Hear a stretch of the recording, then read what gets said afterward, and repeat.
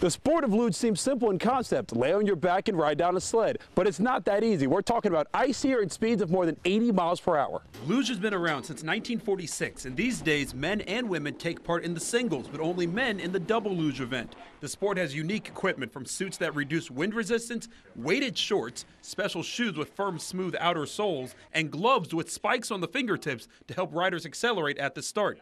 Riders start in a seated position and then go for a ride. Most people see it as you're just slowly going down, having the track do what you know what it wants to do to you, and that's not the case at all. You have specific lines you have to drive. It really matters with lots of balance you have to have because you have to make make sure that your weight is spread out evenly on the sled, and you have to be able to know when to input steers. And new this year, a luge relay as a woman, a man, and two men in doubles, all from the same country, run in a sequence.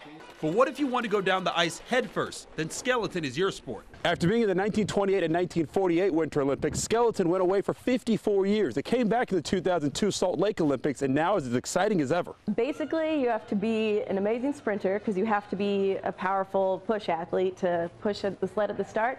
And then you pretty much dive on and with your chin just a few inches off the ice, you know, fly at up to 90 miles an hour. You just go for the ride. Have a good time. Sled has two runners, which are made out of uh, round steel rods.